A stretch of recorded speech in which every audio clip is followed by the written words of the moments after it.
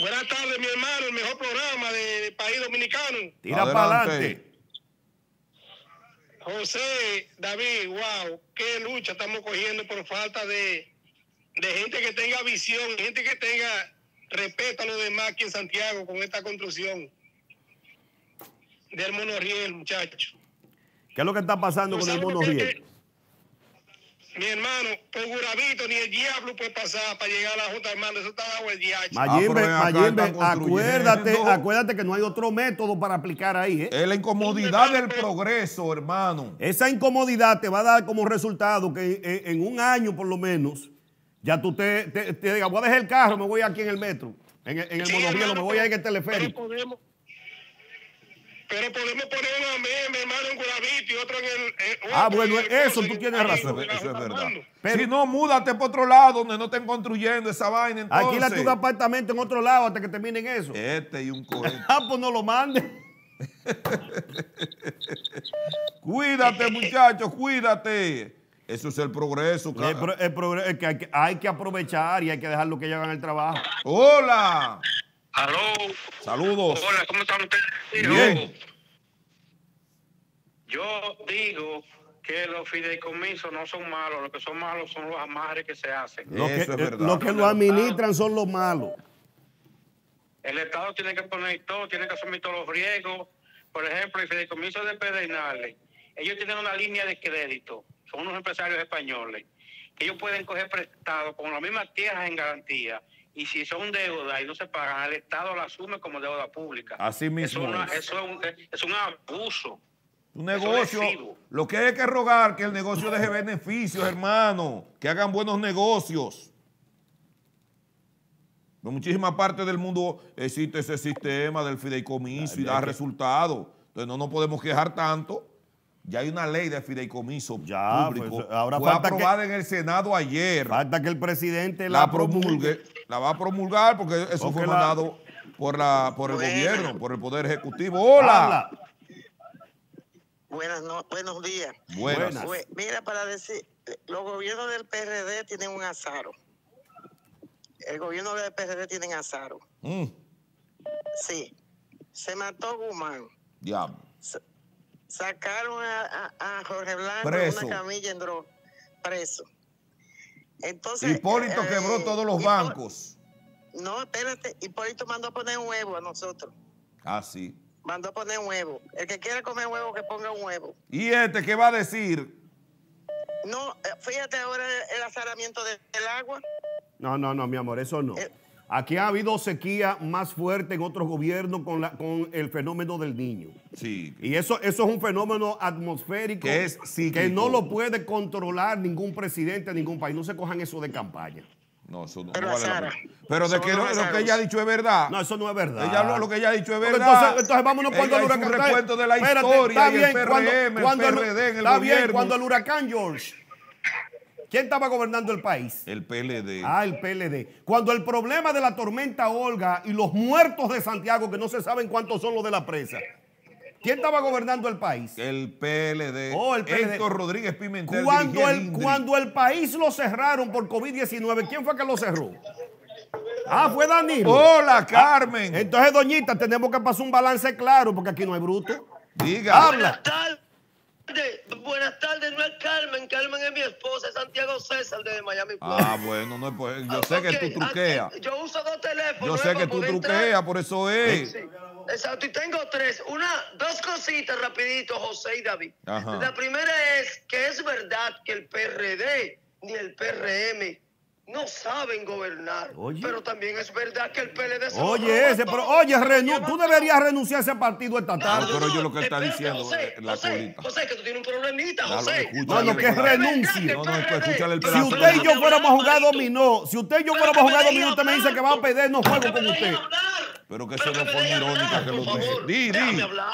Habla. ¿Entiendes? El PRD y el PRM no sabrán gobernar, pero el PLD se los roba todo y te defalca el país. Una cosita, a ti, José, tú me decías a mí que no iba a haber convención en el PRM, entonces tienes que decirle mentiroso a Eddie Olivares y a la comisión. Eso fue lo que dijo el a jefe tuyo. Hipólito Mejía. Es que va a haber convención, que tiene que haber por la ley que hay en el país. Es que tiene que haber convención. ¿Y qué tú crees que va a pasar ahora? Para tú quedar convencido. Es que- Van a que- elegir- que gane van a elegir que a Guido. Gane, pero tiene que haber convención. Te Van van, a a elegir a te Guido. van a hacer lo mismo que le hicieron cuando eligieron las autoridades del PRM. Van a elegir lo que ellos les dé la gana. A que ellos le dé la gana y va a votar que ellos le dé la gana Por también. el dedo va a ser al final. ¡Hola! Sí, buenas tardes, David José. Buenas. Buenas, habla. Mira, eh, David José, lo primero es, José, que antes que promover ese proyecto de agua que se privatice, hay que leer ese, ese adefesio y esa aberración. Hay que leer lo que contiene eso para que tú tengas una idea qué significaría ese proyecto que está depositado en el Congreso y qué perderíamos nosotros como nación y como ser humano. ¿Usted entiende? Que es un servicio, porque esto no es un, esto no es un asunto de que haya garantía. Yo pago 1.500 pesos de agua y aquí llega el agua tal vez dos veces o tres meses al mes. Así, Tú igual que en yo, mi casa. yo me quejo de eso, pero Sí, ¿qué es pero lo el que conta- el conta- el contador te está midiendo- a un río, el de, con- el de con- aprovechar el agua en cualquier parte que yo lo encuentre, por ese proyecto te prohíbe todo eso absolutamente. Pero está bien, lo que tenemos que hacer es estudiar el proyecto y para eso tenemos legisladores en el Congreso. ¿Qué es lo que Nacional. tenemos ahí? Legisladores, no tenemos. Porque que- para una cosa son buenas y para otras son Gente malas. que no sabe ni leer ni escribir. Bueno, que entonces para qué este pueblo se ponía a elegir basura para llevarla ahí. ¡Hola! Saludos.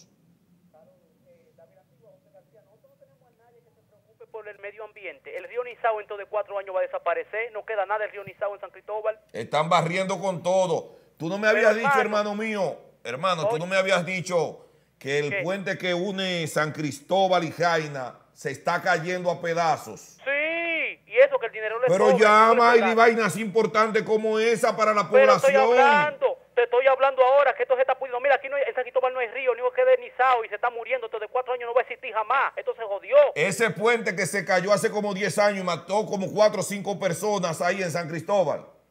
Ya lo sabe, esto se jodió. Que gobierno el carajo y no se preocupan por nadie. Cada quien es para robar, más que sube allá arriba. Mira el puente. Señor director, usted tiene el video ahí Ponlo del ahí. puente que me mandaron esta mañana que se está Ponlo ahí, cayendo. Ponlo ahí. Colóqueme Es eso, señor director, que usted lo tiene por ahí. desde hace- Mire, mírelo ahí. Se está cayendo. Comenzó así la vez pasada, mire. La vez, pa- la vez pasada comenzó así. Eso se derrumbó por Ah, ahí. tal vez- ¿qué? Mataron como cuatro o cinco personas, quedaron muertas y algunos lesionados. Ah, pero si, el- si esa zona de ahí está igual que Santiago, que la gobernación. Eh, Ja- Jaina San Cristóbal. Eso es Jaina San Jaina San Cristóbal Cristóbal. No la, la, la 6 de noviembre. No, No, esa no la 6 Eso es Jaina San Cristóbal, por ahí, por esa parte. Pero a, a ese nivel que suelte es una caballa. que le pueden meter manos rápido. Hola, un ingeniero, obras públicas, que tanto disparate hablan. En el día de hoy, ojalá que la gobernadora de, de San Cristóbal no sea igual que la gobernadora de, de- de- De Santiago. de Santiago, que vino aquí a un programa de televisión en la mañana, a decir que ella no sabía de lo que estaba pasando en Navarrete. La tenemos en video ahí, señor Pero, director. pero, pero, pero, perdóname, perdóname. Yo vi eso y yo dije, no, pues esta mujer tiene que vivir en China. Que ¿eh? ella no sabe lo que está pasando en Navarrete. Que ella no sabía, hay una niña herida que estaba en, en el Arturo Grullón aquí, está que todavía todavía, está ahí. Ella no sabe todo lo que sucedió en Navarrete. Ah, no, no sabía que el tránsito estaba paralizado. Ella no sabe que el Ejército Nacional, que se mueve única y exclusivamente Con una orden con una superior. orden presidencial, que el presidente es el comandante jefe, coño, usted se cree que aquí hay bruto, eh? Y usted siendo la, la, la, la, representante del presidente de la República en Santiago, usted como gobernadora no sabía que el ejército había llegado aquí. La principal autoridad de la ciudad. de la Oiga, si usted no sabe en qué silla usted está sentada, renuncia a esa vaina. Ella- ella- si dijo eso. Ella quiere ser senadora de Santiago. Dice que esa candidatura es de ella. Eso no hace falta a nosotros un senador que se haga el loco. ¿De verdad? Sí. Porque no, más loco que el que se está haciendo esto. más sinvergüenza. Vamos a ver a, a la gobernadora, señor director. Dele ahí. Qué vaina.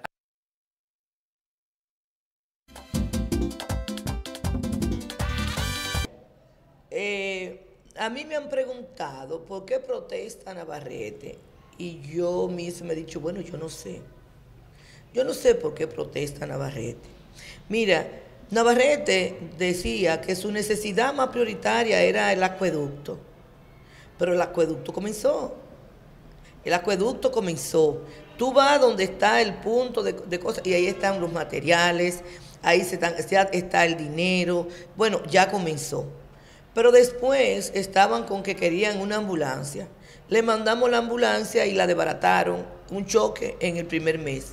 Volvimos y mandamos otra ambulancia. El hospital de allá es lo que tenemos un poquito más lento, pero no es que se ha parado, está trabajando, pero eh, de manera más, más, pero más cosas, pero ya en este año lo entregamos. Eh, nos reunimos con ellos y nos pidieron el asfaltado de 10 barrios.